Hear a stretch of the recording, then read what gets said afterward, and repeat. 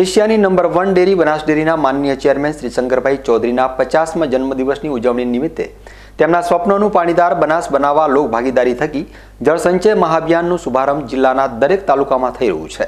ત્યારે અમીરગઢ તાલુકાના ગુદડપુરા ખાતે બનાસ જળશક્તિ અભિયાન અને જળસંચય અભિયાન અંતર્ગત બનાસ ડેરીના માનનીય વાઇસ ચેરમેન શ્રી ભાવાભાઈ રબારીના અધ્યક્ષસ્થાને